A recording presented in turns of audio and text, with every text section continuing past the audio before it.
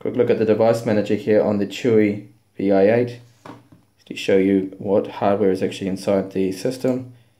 So I can see that it's a Realtek sound sensor that has a basic orientation sensor. Uh, CPU of course we know.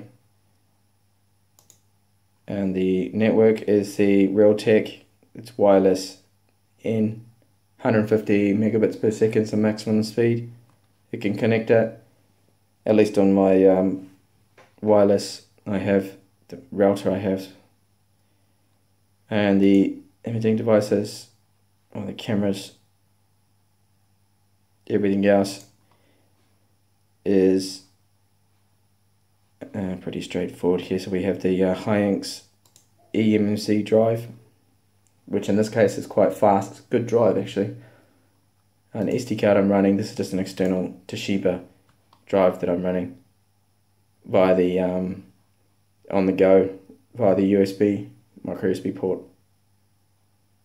Everything else is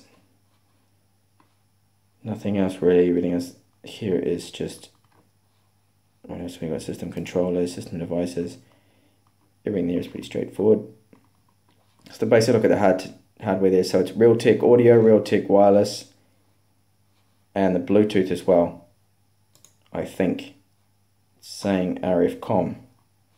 There's some words there in Chinese, of course. So I don't understand Chinese, but it could be Realtek as well. So that's the device manager here of the Chuwi Vi8 as requested from a user in YouTube.